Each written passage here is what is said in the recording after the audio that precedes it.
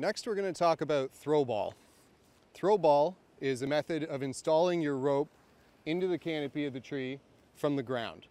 This can be used in larger, taller, deciduous, broad spreading trees where we're not able to get into the tree from the lower branches. We're gonna stay nice and clean and organized when we're using our, our uh, throw bag here because this can be the biggest time vampire on a job site. If you're not clean and organized with your throw bag, you're gonna waste a lot of time in this step. This is my throw cube. pops open like this. And then inside, I have my throw line and my throw balls. You want to keep this as clean, neat, and tidy as you can. Never any sticks or debris in here. And always with the end of the throw line tied to the top of the bag. If I drop this into the bag before I close it, I'll lose the end of the line. And when I pull it out, it'll be full of knots and it'll just be a big rat's nest that you won't be able to use properly. So again, always tie this to the edge of the bag or attach it to the Velcro tab when you're done using it. In these side pockets, I have my throw balls. A throw ball is like a beanbag sack of lead shot that are different weights. We use different weights to get to different heights. So I have three throw balls in here. At least two is optimal.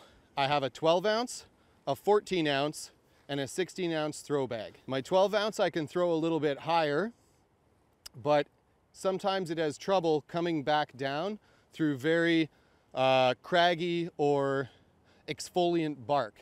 Uh, when you have bark which is uh, uh thicker and has uh, more friction, like uh, black cherry or certain conifers, uh, this might not be the best bag to throw.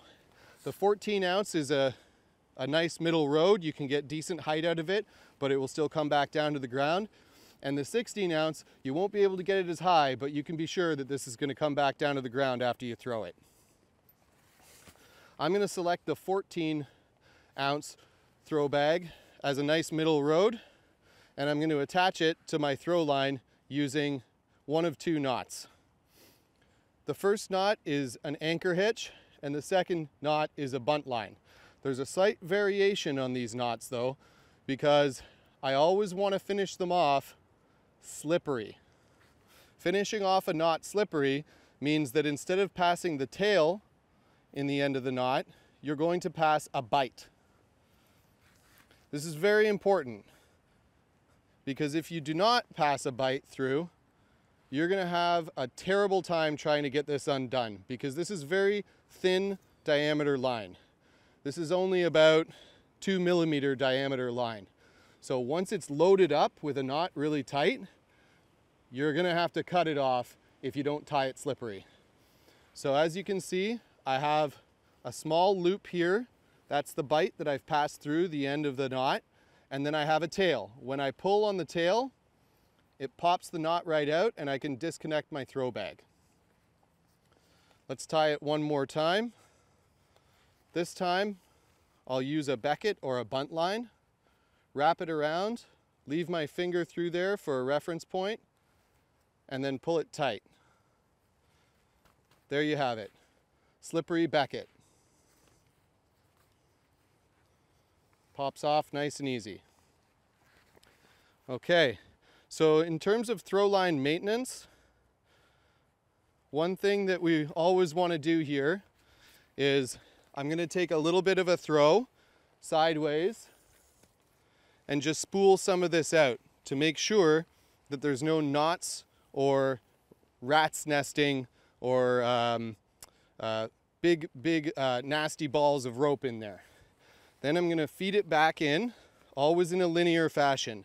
Never ever do this. If it's all in a pile on the ground, if you decide to pick it all up in one piece and throw it in, you're going to be wasting the rest of your day trying to untangle it, I promise you. Feed it in in a linear fashion and just spool it in randomly.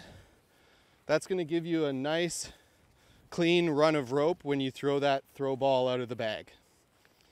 When I'm done using this, I'm gonna stow this ball into the side pocket and leave it tied on, or I'm gonna disconnect my rope, my throw line, and then I'm gonna tie it to the top of the bag so I do not lose that length of line.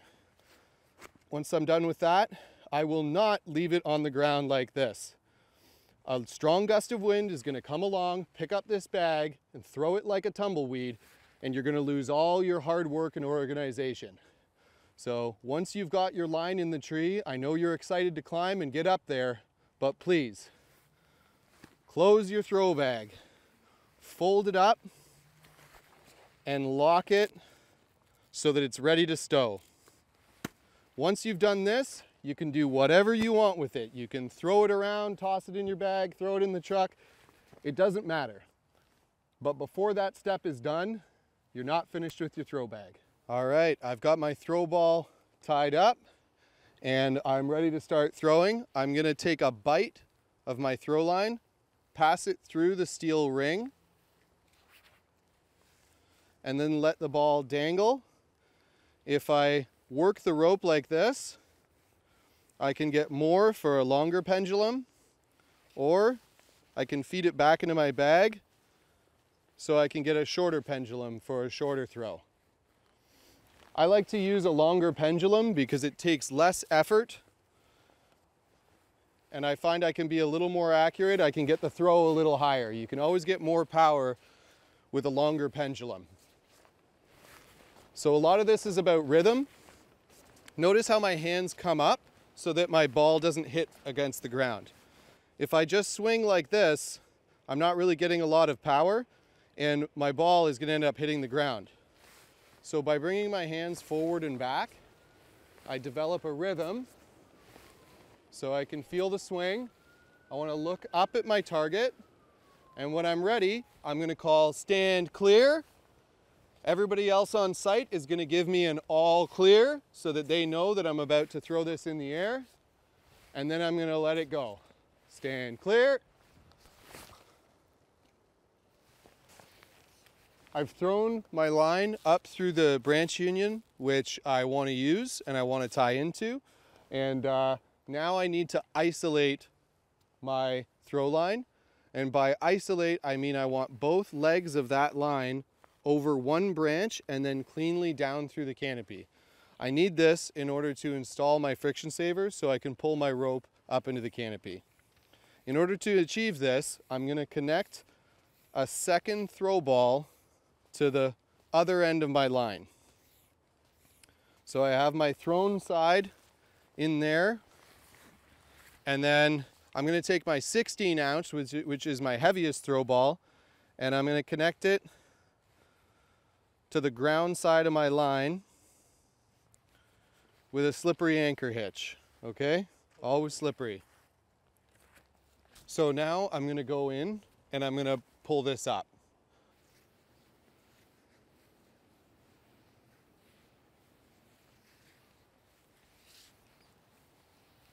So now that I've got my throw line over my desired branch union in the tree, I'm going to remotely install my ring and ring friction saver.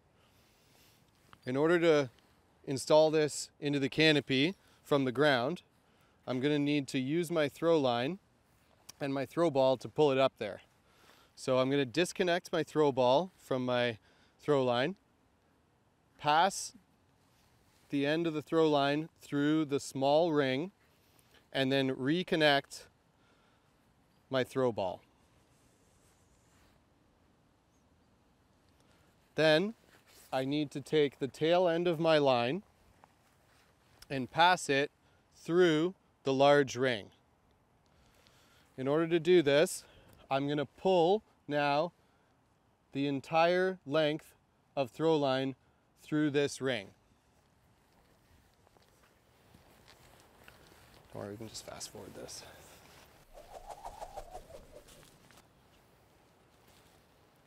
Okay, now that I've got my throw line all pulled through the big ring, when I pull on the leg of throw line, which is through the big ring, I can start pulling up my throw ball which is gonna also pull up my ring and ring friction saver. Now, as I pull this, it's gonna travel up into the canopy of the tree, over top of the branch union which I've selected, and then pop back over.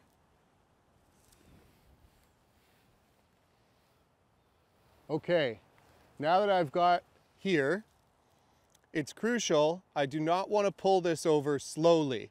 If I pull it over slowly, it's just going to get stuck in the union and it's going to be a big mess. I want to pop it over so it jumps over the branch union and the ball comes back down.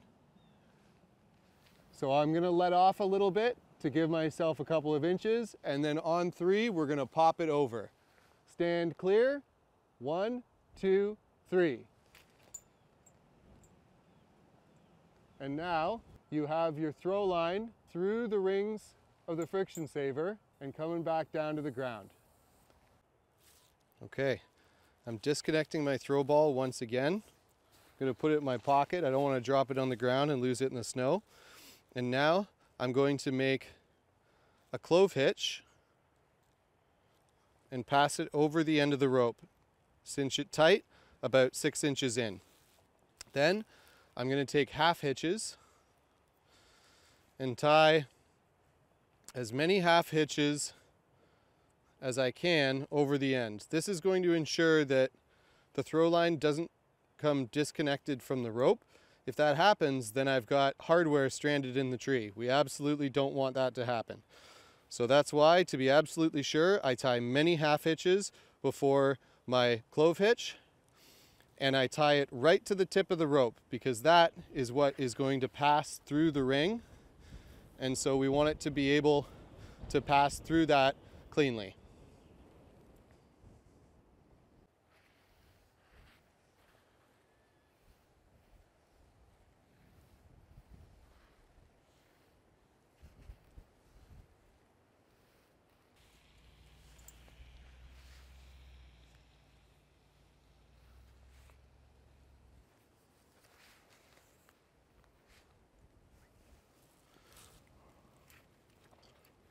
All right, we're all done climbing and we're ready to pull out our ring and ring friction saver.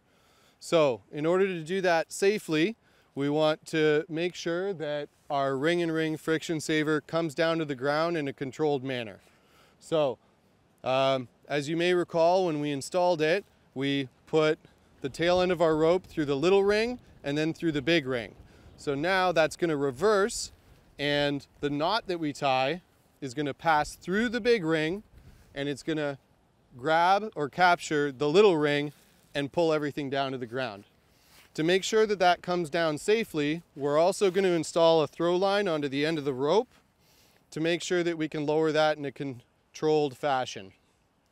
Now, when I tie my uh, clove hitch, the safest way to do this is to go past the knot so that it's got something to grab cinch up my clove hitch, and then just like on the install, we're gonna use a bunch of half hitches on the tail end of the line to make sure they don't end up disconnected. One, two, three, right to the end. There you have it. Now we're ready to pull out our friction saver.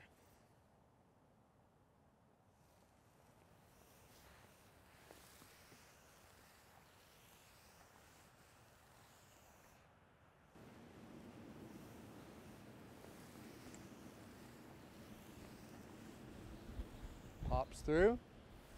Here we go. One, two, three.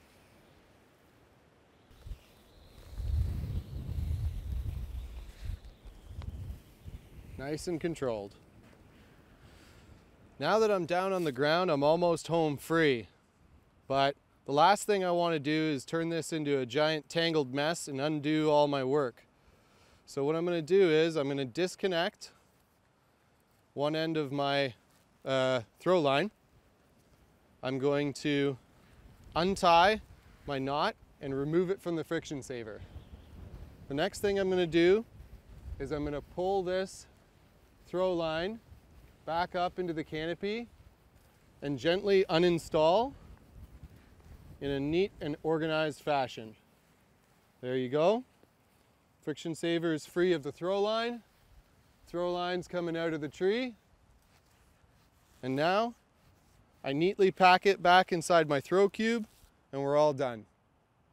So that's how to use your throw ball and throw bag to install a climbing line into a tree, how to install a ring and ring friction saver, and then safely pull it down to the ground.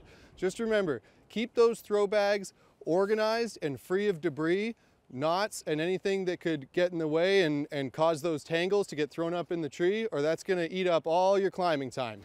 All right? Thanks for watching.